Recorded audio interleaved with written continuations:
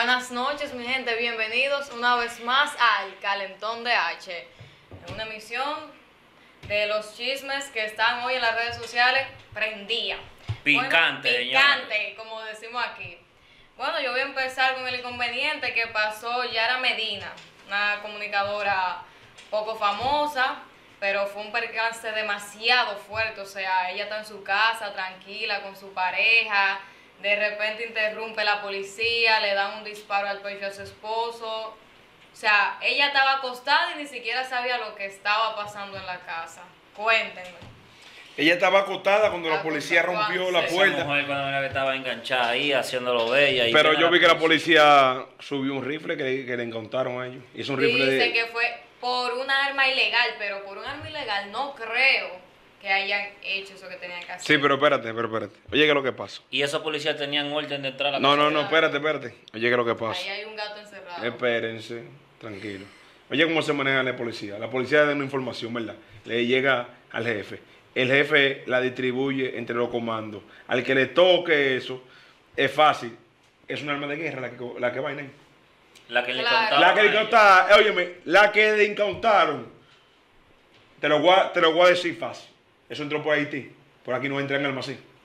El que tiene un arma así, un arma de guerra. ¿Y qué hace esa mujer con ese tipo de arma en su casa? ¿Eso qué No. es? ¿Eso quieren saber? Es de él, supuestamente. Y está ¿Y a qué se dedica? ¿Y a qué se dedica? Bueno, por eso te dije, hay gato encerrado. Porque aquí la comunicadora es ella, pero ¿y el esposo cómo se llama? ¿Qué se dedica? ¿Por qué intervinieron? ¿Qué fue lo que pasó? Ahí Porque tienen, ¿por qué, por qué, por qué tienen ese rifle de asalto en su casa? Bueno, tú sabes lo que se está utilizando mucho ahora. No quiero hablar, no quiero hablar, no vaya a ser y pasa algún inconveniente. Pero como te Ese digo, caso, ese caso lo mejor que queda es la policía que sigue investigando y que la policía diga lo que pasó en ese caso. Ese caso no es bueno ni siquiera opinar. Ese caso es mejor dejarlo que la policía dé su informe de por qué se tiraron, a qué él se dedica. Exacto. Todo el informe lo de la policía. Que ese, pienso que dedica- tiene que eso ver algo más allá, tal vez narcotraficante, algún asunto, algún amigo, digo yo, no sé, porque... es un arma de ¿Por qué que, no óyeme, yo te Ni definí. siquiera la foto.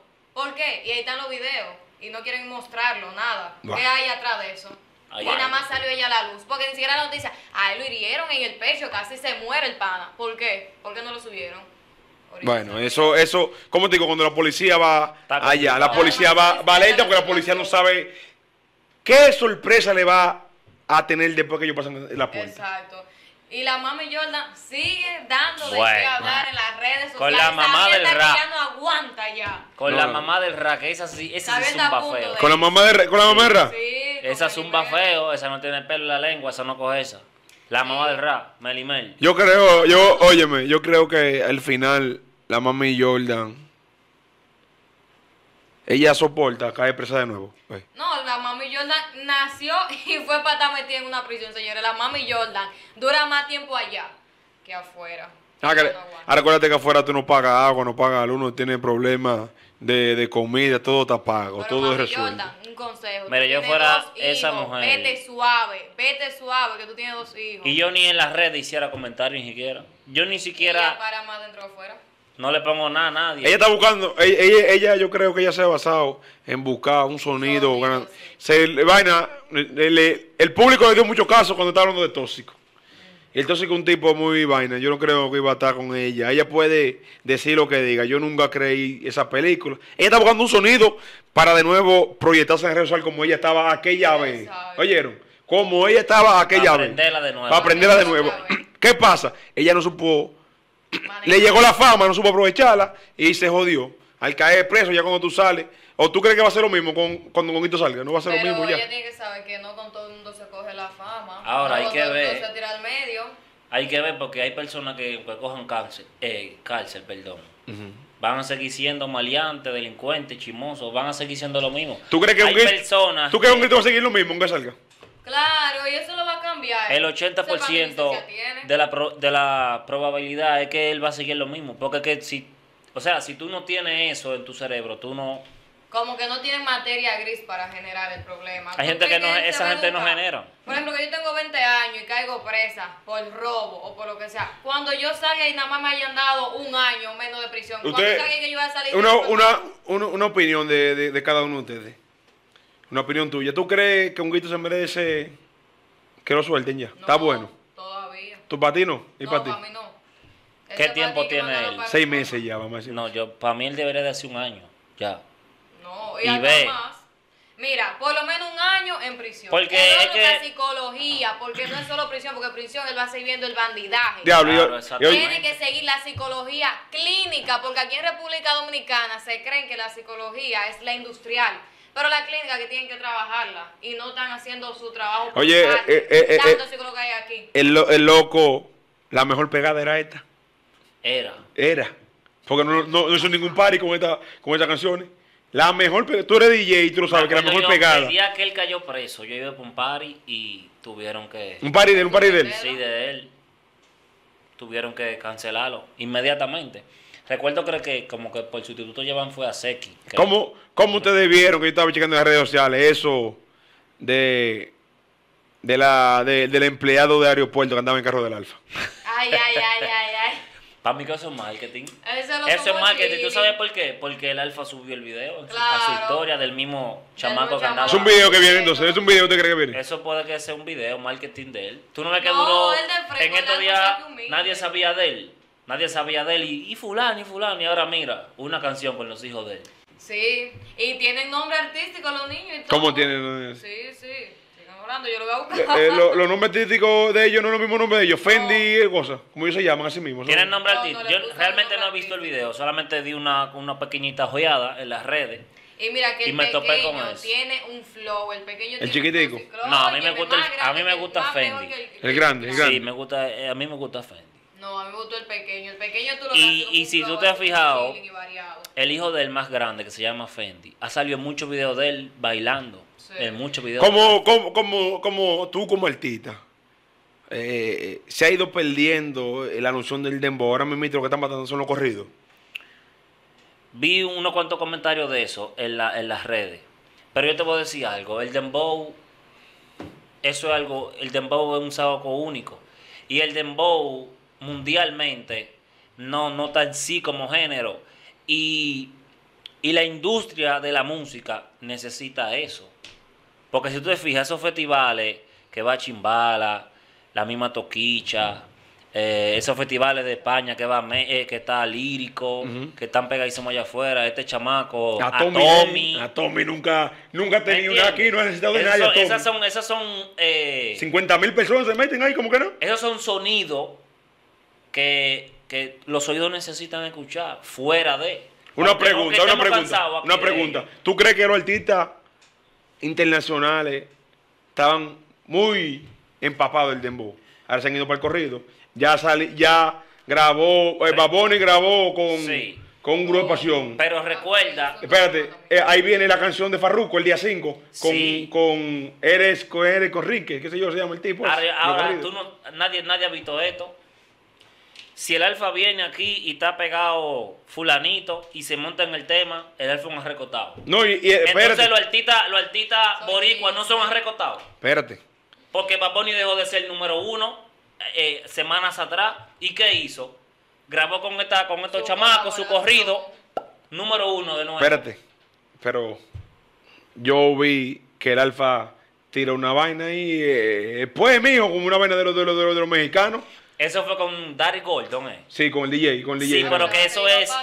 Eso es como vaina tecno. Sí. Sí, eso es como tecno. No Pero corrido eh, en sí. eh, eh, eh, ese tipo estaba tocando. Habían como 70 mil personas, él estaba tocando. Ese, ese, ese DJ que tú dices le ha dado una, una empujada muy internacional al alfa que hay muchas personas aquí que no saben.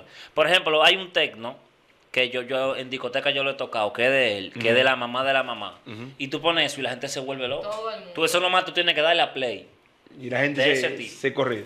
Entonces, ¿tú crees, tú, crees que el corrido no, el corrido va a repasar el dembow? Ahora mismo, como está en el corrido no. subiendo. Aquí no. Aquí no. Aquí Por ejemplo, suena ¿cuántos es dembow, artistas reggaetón. cuántos artistas corridos hay en República Dominicana? No, aquí no han tirado ninguno. No. Pero que te estoy diciendo, no han tirado ninguno. ¿Tú crees que el corrido internacionalmente le vaya a pasar al dembow ahora mismo? Internacionalmente sí. ¿Tú sabes por qué? Porque Arcángel anda un corrido por ahí. Ah, pero, Está eh, pero, pero, está eh, pero espérate, espérate, espérate.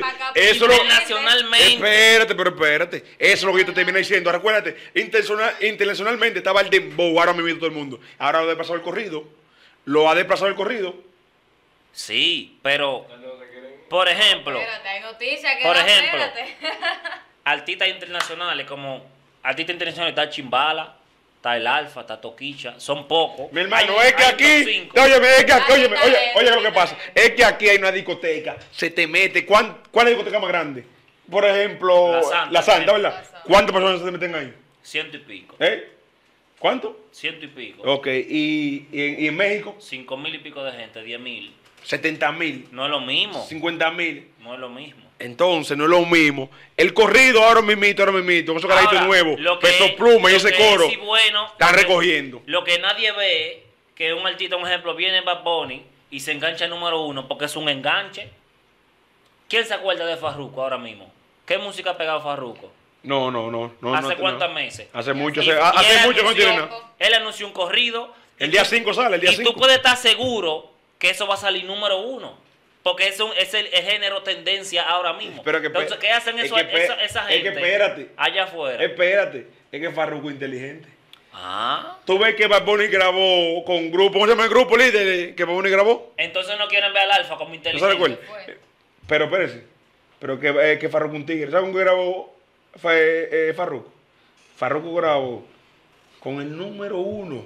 Tú ves que lo desplazó eh, Peso Pluma. Pero ese es el carajito que estaba número uno. Le seguía Fuerza Rígida atrás. Ustedes lo pueden buscar. Es un carajito, un muchacho, se llama Luis R. Conrique. Mírame. Pero es a un nivel tipo de corrido. a nivel de corrido, corrido bélico que él canta. Una vaina, mírame.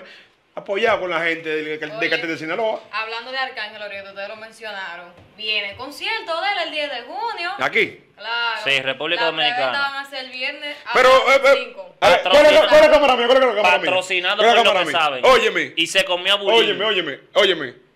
Hay que hacer algo grande aquí. Ya estamos hartos de, de- de- del centro de, de, que- del Quiqueya. todo- Una vaina para aprovechar y meter pila de personas. Abinadel, busca un espacio por ahí donde quiera y hazte una vaina inmensa.